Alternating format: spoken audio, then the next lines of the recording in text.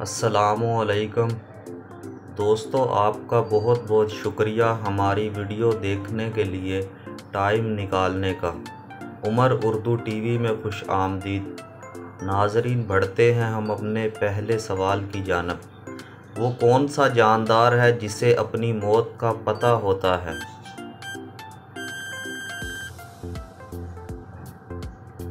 जवाब है सज़ाए मौत का कैदी। इंसान के दिमाग में कितनी हड्डियाँ होती हैं?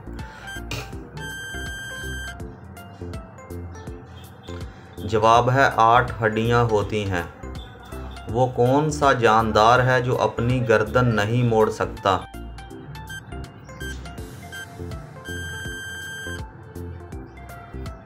जवाब है, मेंढक।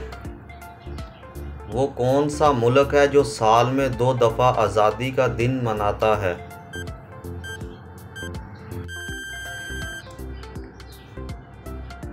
जवाब है पानामा। इंसान एक दिन में कितनी दफ़ा पलक झपकता है?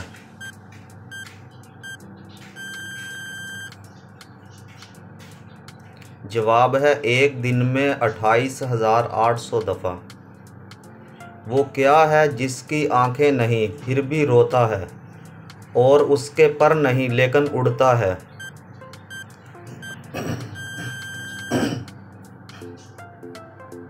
जवाब है बादल। पाकिस्तान का कौमी रस कौन सा है?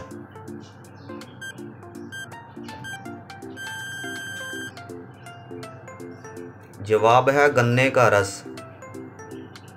पाकिस्तान का कौमी लिबास क्या है?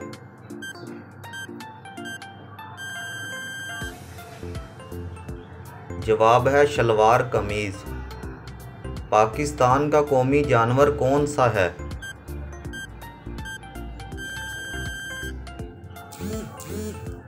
जवाब है मारखोर।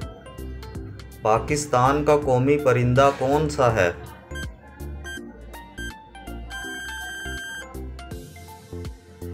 जवाब है चकोर। पाकिस्तान की कौमी मछली कौन सी है?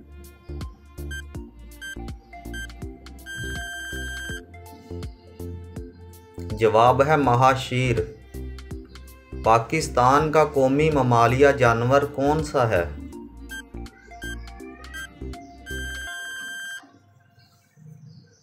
जवाब है डोल्फन। पाकिस्तान का कौमी शायर कौन है?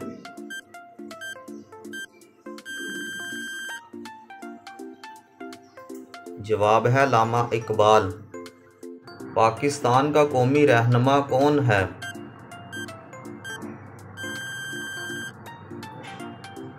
जवाब है कायद आज़म मोहम्मद अली जना पाकिस्तान का कौमी शिकारी जानवर कौन सा है?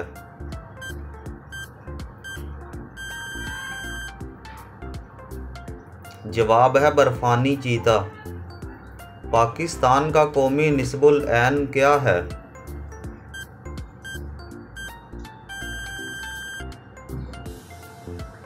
जवाब है ईमान इतिहादो तंजीम।